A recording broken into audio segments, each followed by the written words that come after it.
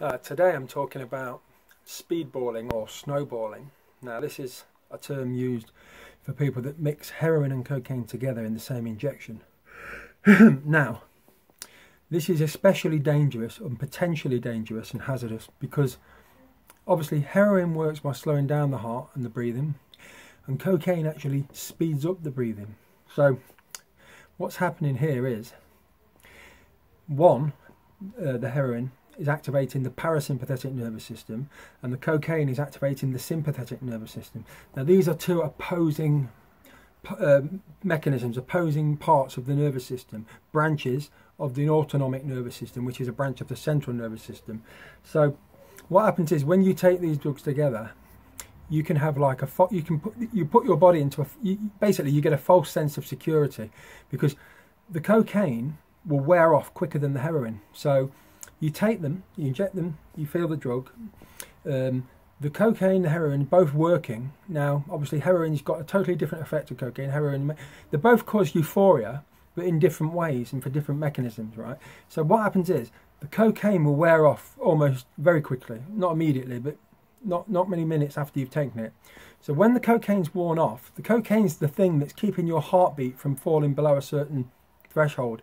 Now, once the cocaine's wore off, there's nothing now to protect your heart from beating slowly, basically from the heroin from coming to the forefront, and heroin now can take over. Now, the heroin will work by slowing down your heartbeat and the electrical signals from the brain to the heart to tell it to, to beat to beat, and from the brain to the lungs to tell them to breathe.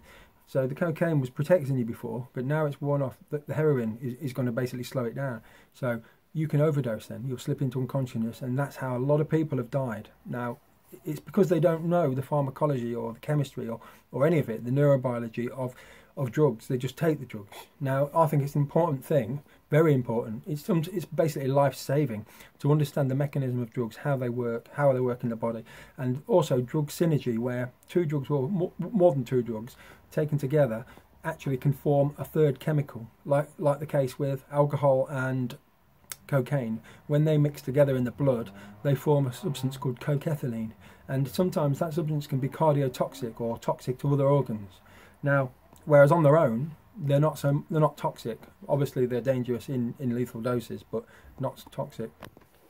So taking them taking them together suppresses the negative side effects of the two drugs. It's only when the the the cocaine wears off that the negative effects or the breathing slow, the respiratory depression uh, effects of the heroin will come to the forefront, like I said a minute ago, and that is when the breathing will slow down. And basically, the, the user, these, this use, this, this basically behaviour from drug users, this provides a false sense of security. So the user doesn't actually think they actually think that they can have they can that their tolerance is higher than it actually is when it actually isn't. So this has led to many deaths.